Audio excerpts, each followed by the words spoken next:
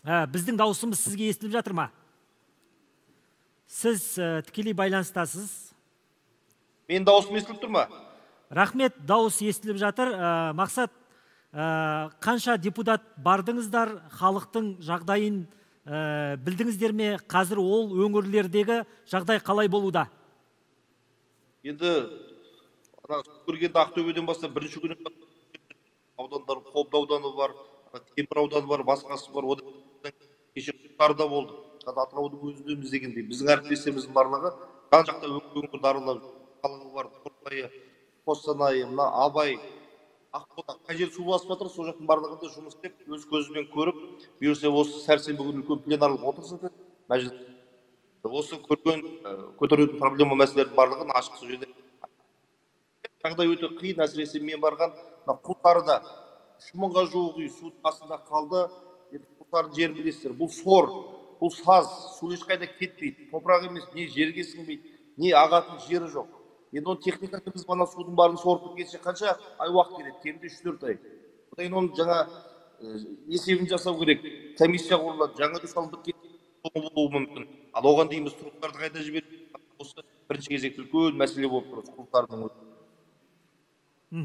Ә, енді жалғастырып айтайын мақсат мырза. Деген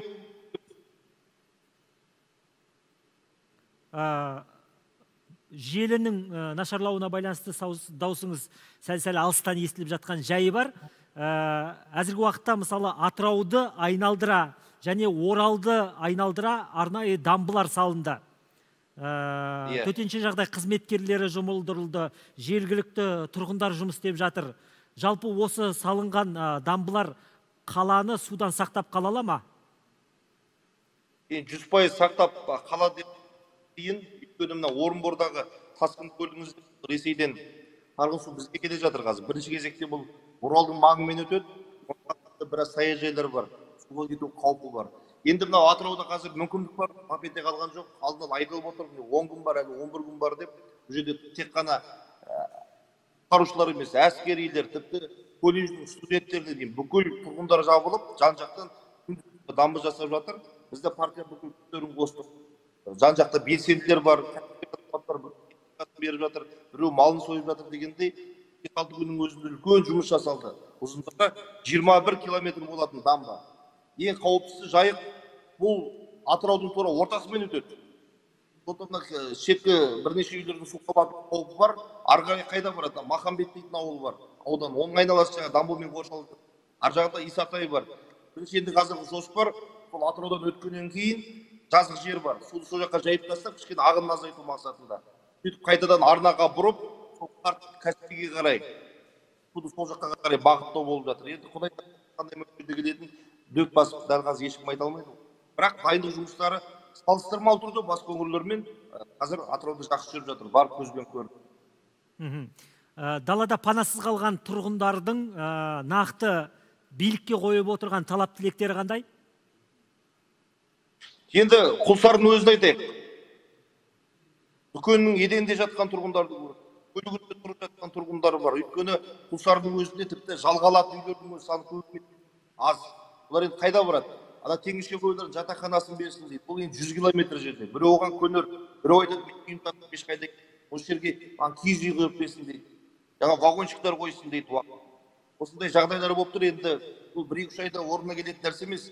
Бұл енді жаздың күздің соңына баруы мүмкін. Халықтың қиналғаны расында біз көзбен көріп қайттық. Одан кейінгі нәрсе ана зират бейіттер шайып кеткен. Кейбір мәйіттер судың бетіне шығып жатыр. Ауыл жерлерде білесіздер дәретхананың барлығы жердің бетінде орналасқан. Ертең одан ауру тарауы мүмкін. Сондықтан залалсыздау жұмыс- жұмыстарын да біз қолға алуымыз керек жергілікті жерлерде өйткені сезіледі судың өзі иіскене бастады ол ағу емес қазір тұрған су ғой.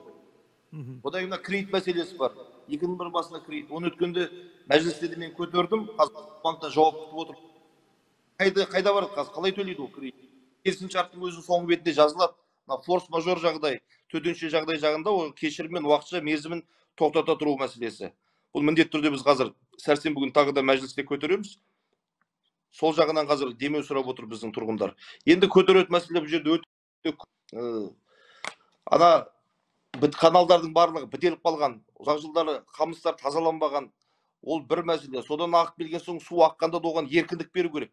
Ана қасым барлығында а, каспий нефть сияқты үлкен мұнай компаниялары бар. Олар өздерінің цехтарын сақтап қалу үшін арнайы заңсыз қойған бөгеттер бар. Ертең соған тергеуіміз керек. Ол жерде үлкен қылмыстық іс қозғау керек деп ойлаймын. Өйткені сол дамбаларды қолдан жасалған бөгеттерді қойып тастаған соң ауылға қарай су жайылып жатыр. Оны біз барып тағы да көзбен көрдік. Және қарашада ескерткенбіз. Бізге хат келген осындай заңсыз бөгеттердің салынып жатқандығын. Оны прокуратура білмейді емес біліп отыр ол мәселені де. Жақсы мақсат мырза. Қазір оқу жылының аяқталуына санаулы ғана күндер қалды.